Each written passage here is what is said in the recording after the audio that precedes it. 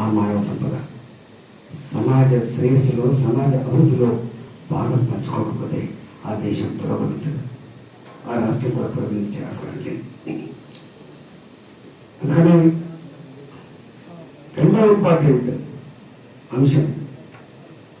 మన పాత ప్రధాని నరేంద్ర మోడీ గారు అమెరికాలో పోయినప్పుడు ఇతర దేశాలకు పోయినప్పుడు మాట్లాడుకుంటాడు నా దేశం మానవ సంపద దేశం మాత్రమే కాదు. నా దేశం యువశక్తి దేశం చెప్తా ఉంటాను ఎందుకు ఇవాళ ఆకలితో అలమటిస్తుంది ఆలోచన చేసుకోవాలి? ఒక రోజుతో ఒక పంచవర్ష ప్రణాళికలో సమస్త వ్యవస్థ మారుతుందని చెప్పి ఉన్నారంటే మనం నమ్మలేదు కానీ కానీ ఆ దిశగా పునాది పరిశ్రమకై మాత్రం ఉంది. ఈ దేశంలో సమానంగా మారవలసింది.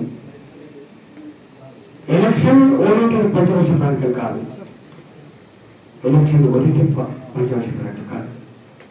పవర్ ఓరియంటెడ్ పంచవర్ష ప్రణాళిక కాదు. పీపుల్ ఓరియంటెడ్ పంచవర్ష ప్రణాళిక అవసరం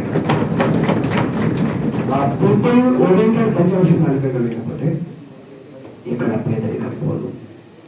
ఇక్కడ పేదరికం పోదు. మీరు చూసినప్పుడు ఒకసారి అన్నగారికి నాకు బాగా తెలుసు. మీ కంటే దేశంలో వచ్చినప్పుడు మన క్లింటన్ దేశానికి వచ్చినప్పుడు అమెరికన్ ప్రెసిడెంట్ లాంటి దేశానికి వచ్చినప్పుడు ఆర్టిఫిషియల్గా పుచ్చగాలను తీసుకుపోయి ఆసమాన్ని పెట్టిండ్రు. వారు ప్రయాణించే రోజు గొప్ప శుద్ధీకరించారు కానీ నిజమైన విషయం ఎంతో వారికి అర్థం కాకుండా చేశారు ఇవాళ మనం నేను ఇవాళ యువ ఎమ్మెల్యేలుగా యువ ఎమ్మెల్యేలుగా నేను చాలాసార్లు అనుకోలేదు నేను శాసనసభలో అడుగు ప్రజల కళలను సాఫల్యం చేసినటువంటి గొప్ప వేదిక ఈ అసెంబ్లీలో. గొప్ప వేదిక పార్లమెంట్.